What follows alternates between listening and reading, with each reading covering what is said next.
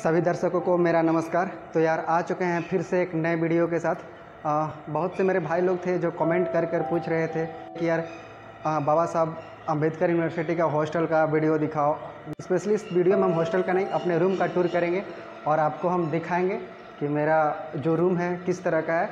और यहाँ पे स्पेशली जो है हॉस्टल वो दूर के बच्चों के लिए ही अलॉट किया जाता है। जैसे कि यूपी वालों बच्चों को बहुत ही कम किया जा, किया जाता है। जैसे कि दूर से जितने भी अदर स्टेट के लोग हैं, उन लोग को रेफरेंस फ़र्स्ट रहता है कि पहले उन लोग को हॉस्टल दिया जाए। उसके बाद बच्चे हॉस्टल तो सेकंड लिस्ट थर्ड लिस्ट में जो नाम आए तो यहाँ के बच्चों को हॉस्टल दिया जाए। तो चलिए, बिना लेट किए हुए हम अपना वीडियो को स्टार्ट करते हैं और आपको यहाँ का हॉस्टल का टूर कराते हैं। पीछे देख सकते हैं, पूरा रूम ही रूम है, पर पूरा अगर कैंपस टूर करेंगे तो वीडियो बहुत लंबा हो जाएगा। तो चलते हैं अभी अपना रूम टूर कराते हैं और आपको हम दिखाते हैं मेरा रूम किस तरह का प्रोवाइड किया गया है बी के द्वारा। तो गाइज़ पीछे देख सकते हैं ये मेरा ही रूम है।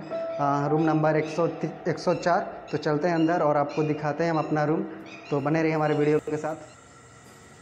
सो गाइज़ फाइनली चलते हैं अपने रूम में और आपको हम अपना रूम दिखाते हैं कि किस तरह का रूम है ये अंदर से। तो गाइज़ देख सकते हो ये हमारा रूम है। आ, तो देख सकते हो इधर बादल का रूम है पर ये अच्छा से बेड बिछाया नहीं है। तो इस पर ध्यान नहीं देना है, क्योंकि बॉयज़ हॉस्टल है यार। बॉयज़ लोग जानते हैं, कैसे रहते हैं, आप लोग सब जानते हो। तो फाइनली आपको बताते हैं कि यहाँ हॉस्टल रूम में क्या क्या है। तो पहले एक बार पूरा आप रूम देख लो, उसके बाद आपको हम दिखाएँगे। कि क्या क्या यहाँ मुझे गवर्नमेंट के द्वारा मिला है हॉस्टल का, और क्या क्या सामान मैंने लाया है। तो गाइस चलिए स्टार्ट करते हैं फिर से। तो गाइस सामने में देख सकते हो वहाँ पे एक बहुत बड़ा अलमीरा के बगल में एक जगह है, जहाँ पे आप अपने जो भी सामान हो आप रख सकते हैं, उसके जस्ट नीचे भी काफ़ी बड़ा स्पेस है। यहाँ पे कुछ मैंने अपने सामान रखे हुए हैं। अपने कुछ याद के लिए फ़ोटो हैं अपने घर के मम्मी पापा का, और कुछ अपने डेली यूज़ के सामान है। और नीचे यहाँ पे बुक्स हैं, जो हम पढ़ते हैं अपने डेली यूज़ में। जो मेरी क्लासेस होती हैं और यहाँ पे टेबल दिया हुआ है और ये देखिए सामने में ये भी जो ये टेबल है, ये गवर्नमेंट के द्वारा ही प्रोवाइडेड किया गया है और टेबल के साथ साथ ये बेड बेड प्रोवाइड किया गया है, ये गद्दा और तकिया, ये सब मैंने अपने खुद का घर से लाया हुआ है और ये चेयर जो गवर्नमेंट ने प्रोवाइड किया है। तो गाइस देख सकते हो कि कितना खूबसूरत है ये टेबल भी, पूरा वर्किंग कंडीशन में है, कोई कोई दिक्कत नहीं है, देख सकते हो। और इसके बाद इधर आते हैं, देखते हैं ये अलमीरा अलमीरा आपको दिखाते हैं ऊपर में। तो गाइस देख सकते हो। कैसे एज यूजल यार, मज़ा है यार। देखो कितना स्पेस है इसके अंदर। मतलब मन मतलब देख सकते हो कि कितना बड़ा है ये रूम और इसको हम बंद कर देते हैं। अभी तो कुछ सामान रखे नहीं है। फिर जस्ट उसके नीचे एक और अलमीरा है।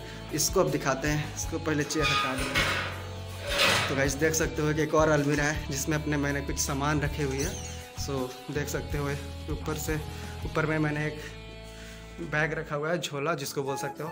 उसके, क्योंकि मैंने अपना वहाँ से कुछ ज़्यादा सामान लाया नहीं। उसके बाद नीचे कुछ मेरे कपड़े हैं जो मैं पहनता हूँ, उसका रखा हुआ है। और उसके नीचे मेरा ये ट्रॉली है, जिसमें मैं सामान लाया था। और इधर पूरा मेरा कुछ बुक्स हैं और नोटबुक्स रखे हुए हैं, जिसको मैं पढ़ता हूँ। और इधर देख सकते हो, पूरा का पूरा रूम खाली है। सो, गाइस, देख सकते हो कितना बड़ा है ये अलमीरा। मतलब शायद ही किसी मतलब हॉस्टल का रूम में इस तरह का मिलता होगा। सो सो आपको दिखाया। और हाँ बात करते हैं इस तरह का आपको पूरा।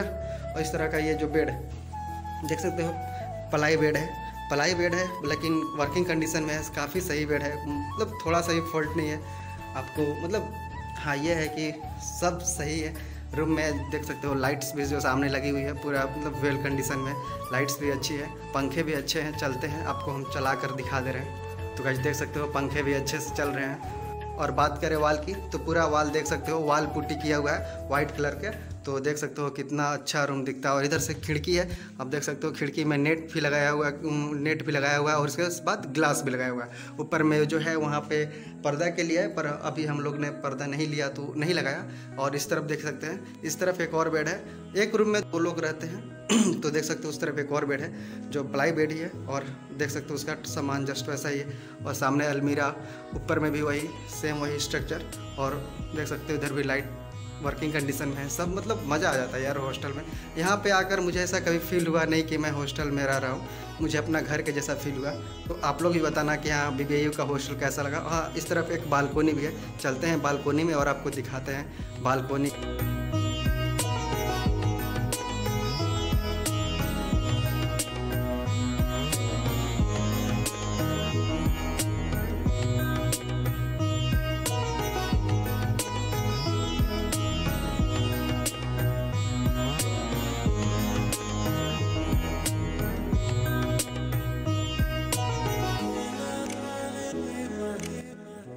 सोलह रेशियो दस का है, यानी कि सोलह इसका लेंथ है और दस इसका ब्रेथ है। काफ़ी लंबा चौड़ा रूम है। इतना बड़ा लंबा चौड़ा रूम मैंने कभी भी किसी दूसरे हॉस्टल का नहीं देखा। तो गाइज़ देख सकते हो, आपको खुद महसूस हो रहा होगा कि कितना लंबा रूम है। तो इस तरह का हॉस्टल मैंने बीएचयू में भी नहीं देखा कि इतना बड़ा हॉस्टल होगा। तो गाइज़ कोशिश करेंगे नेक्स्ट वीडियो में आपको पूरा मेस का, पूरा हॉस्टल का कैंपस और बाथरूम्स यहाँ पे पानी पीने के लिए आ रहा है, ये सब दिखाने का कोशिश करेंगे। इस वीडियो में सिर्फ़ हम आप, मेरा ये पर्पज़ था कि आपको पूरा रूम का टूर करा दें कि किस तरह का रूम मिलता है आपको स्पेशली रहने के लिए। क्योंकि लोग आते हैं तो सबसे पहले अपना रूम खोजते हैं कि मेरा रूम कैसा है रूम में लाइट्स हैं कि नहीं है, पंखे हैं कि नहीं है बेड्स कैसा है चेयर टेबल है कि नहीं है। तो वैसे आपको मेरा ये पर्पज़ था आपको दिखाएँ यहाँ के बारे में कि वेल कंडीशन में सब है। सो गाइस उम्मीद है वीडियो पसंद आई होगी। आप नेक्स्ट वीडियो के लिए वेट कीजिए। कुछ दिन में वो भी अपलोड कर देंगे। अपने कैंपस का और अपने हॉस्टल का और बाहर, क्योंकि यहाँ पे तीन हॉस्टल हैं। अशोका, कनिष्का और एक एक और है।